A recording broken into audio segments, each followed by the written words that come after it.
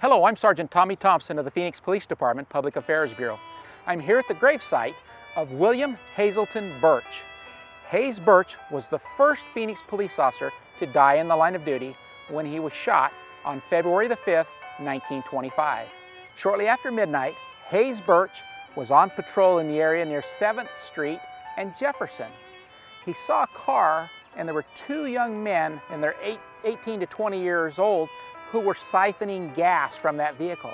When he approached those uh, two men that were siphoning gas from a car, the first thing he said to them was, good evening, boys, just in an attempt to not be, uh, uh, not to alarm them or not to uh, rile them up.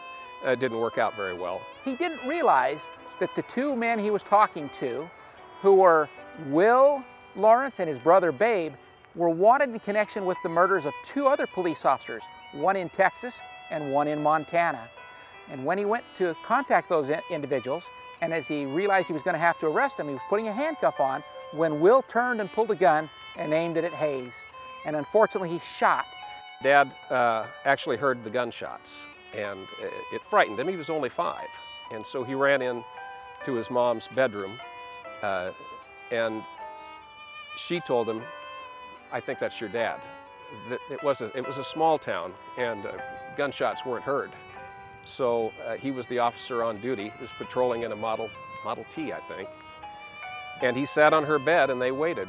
And eventually police officers came to the house and informed them that, uh, that he'd been shot. Now before Haze died, on the day that he was shot, he told the police chief, he said, I'm a goner.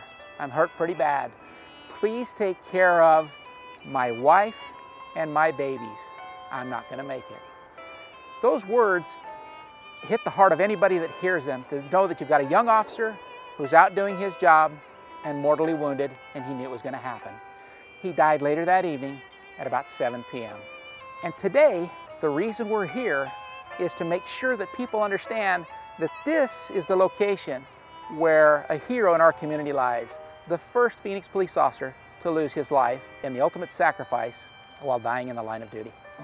We started looking into where was his headstone at and, and what was wrong with it. So we, being trained investigators, we found the headstone, we sent some people down here, we took pictures of it, put it back out on, on Facebook, and uh, one of our retired detectives, Patty Galt, works with the Arizona Historical Society, and she says, hey, I think I know some people that can help us restore that. We submitted a grant to the Officer Down Memorial page, and they gave us a grant back to help offset the cost of this new memorial.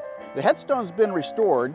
It's about as good as it's going to get according to the Arizona Historical Society. It's a lot better than we were first here because you could rock it back and forth.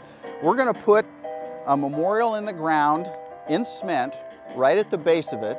It's, it's very simple, very much like this, but it'll be today's generation of memorials. It'll be a marble headstone that'll memorialize Haze Burch, the first Phoenix police officer killed in the line of duty. The dedication of the memorial marker will take place on Sunday, March the 15th at 1 p.m. here at Greenwood Memory Lawn.